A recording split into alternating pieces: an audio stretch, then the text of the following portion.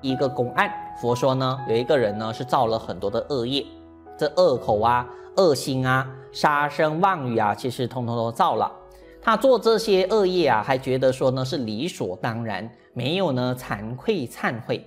这就跟呢一般的社会大众呢一样，像杀生吃肉也觉得没有什么，觉得动物呢都是给人吃的。讲变话呢也觉得没有什么大不了的，因为大家还不是一样讲变话。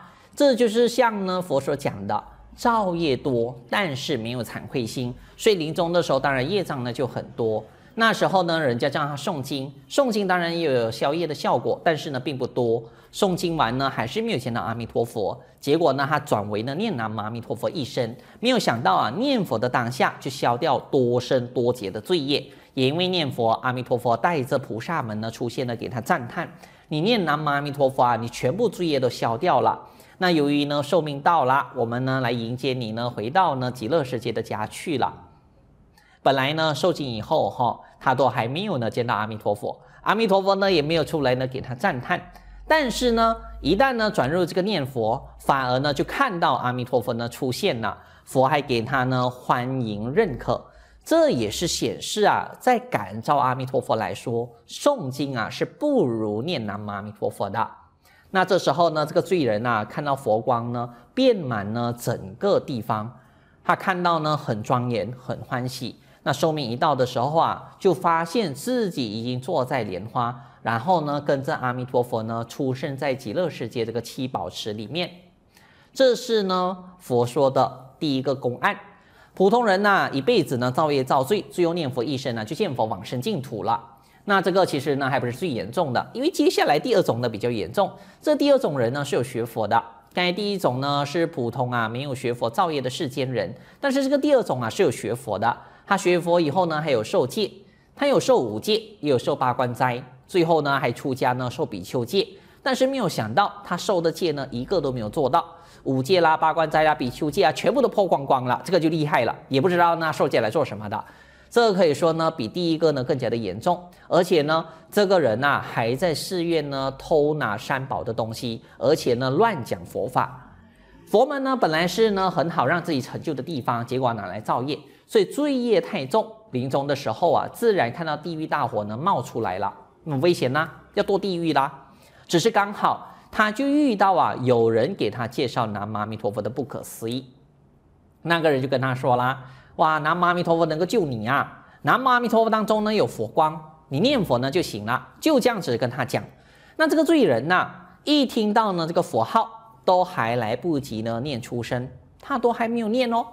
就这样耳朵听到佛号而已，结果没有想到，当下就消掉八十亿劫的生死之罪。刚才的地狱大火被阿弥陀佛转化成了这个清凉风。莲花就随着呢阿弥陀佛的风呢出现，那这个罪人就看到啊莲花上面呢有阿弥陀佛、佛菩萨等等啊伸手呢来迎接他。那这个时候其实呢他寿命呢也到了，没有想到不到一个念头的时间，他就看到自己啊已经在阿弥陀佛极乐世界七宝池莲花里面了。所以各位快不快呢？十万亿佛国土之外的极乐世界，但是因为呢有阿弥陀佛的接引加持，不到一个念头啊，马上就到了。这是佛讲啊，一个破戒的学佛人，本来呢是要被地狱大火呢卷走的，但是呢才听到呢南无阿弥陀佛，都还来不及念，阿弥陀佛呢就出现了，来救他一把，从这个地狱大火把他拉到呢放到极乐世界去。所以，我们讲啊，这个就真的不可思议了。但是各位，这个还不是呢最不可思议的。有人说还有更不可思议的，是啊，最不可思议啊是佛说的第三种，也是呢让我们整个佛教界啊最发光的例子。因为呢，这可以说呢是最严重的案例。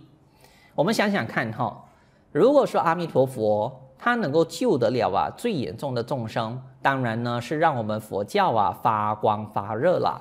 那这第三种人呢是专门做坏事的。佛说呢他一点好事都没有做，哦，专门做坏事。我们平常人呢有时候还会做一点好事哈，但是这个人呢都不会，他从头到尾啊就只会做的这个坏事，而且呢是严重到啊杀人放火的那一种。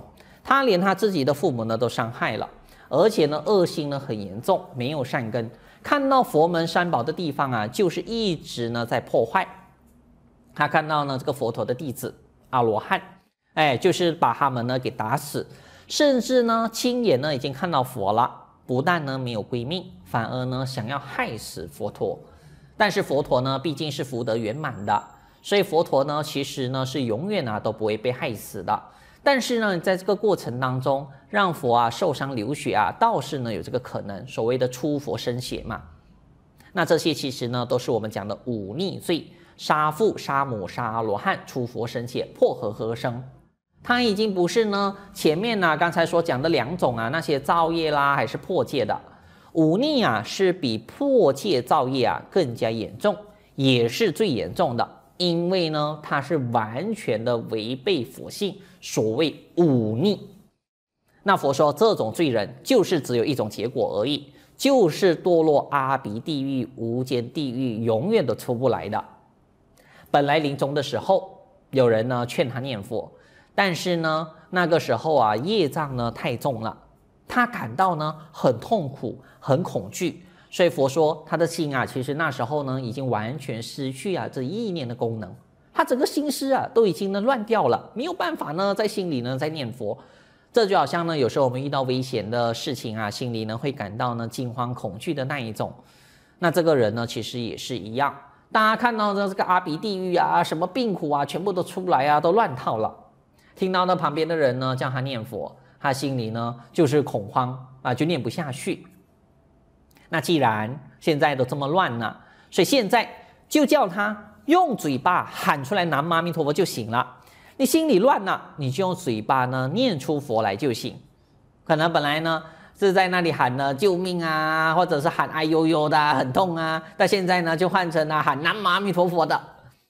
又没有想到，就这样啊，“南无阿弥陀佛”从嘴巴念出来，都能够消掉八十亿劫的罪。那临终的时候。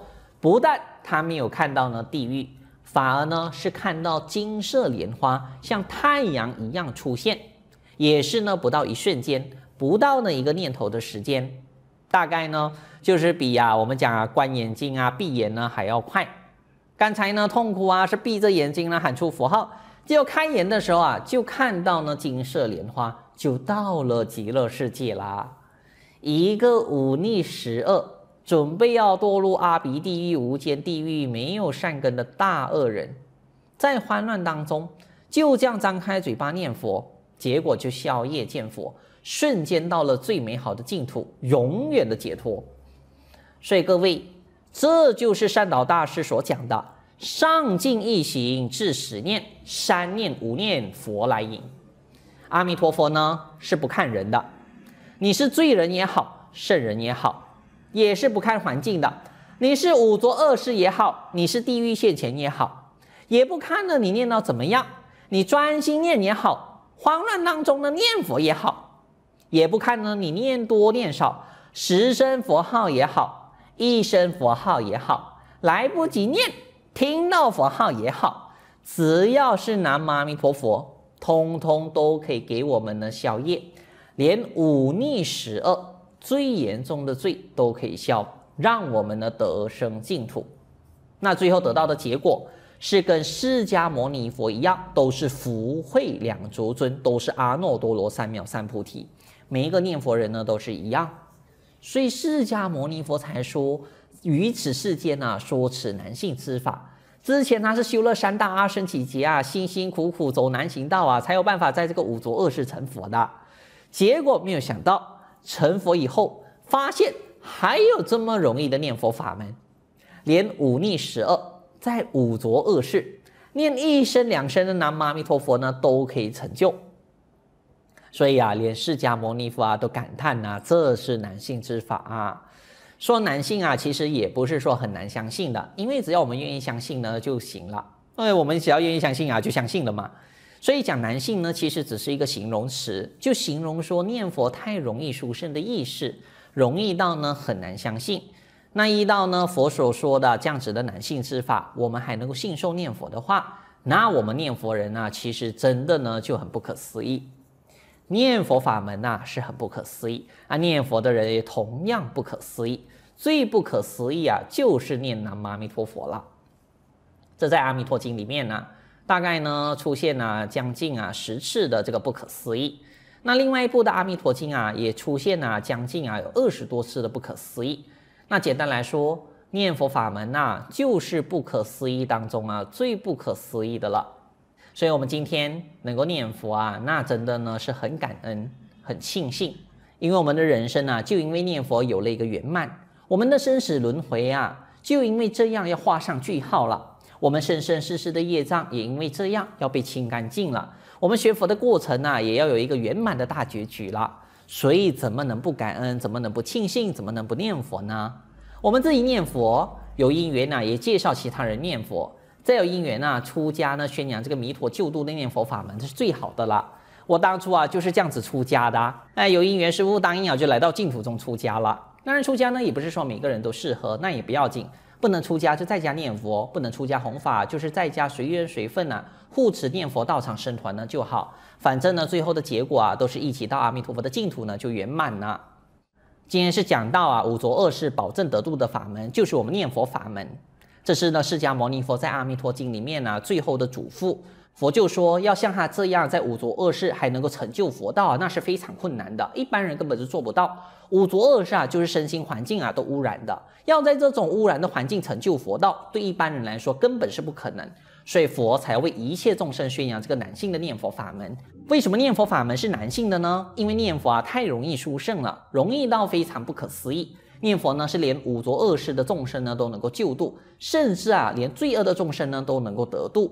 这个得度啊，不是说要他们修什么啊，而是单单念这句南无阿弥陀佛就行了。就算最后啊，就念几声佛号呢，也可以。所以这个呢，就太不可思议了。因为这样啊，就让释迦牟尼佛一定要在这个世界呢，跟一切众生呢宣扬念佛法门。不用等人家请啊，释迦牟尼佛就主动说了。不止释迦牟尼佛，其实连十方诸佛呢，也同样啊要宣扬呢这个念佛法门。南无阿弥陀佛，南无阿弥陀佛，南无阿弥陀佛。南无阿弥陀佛。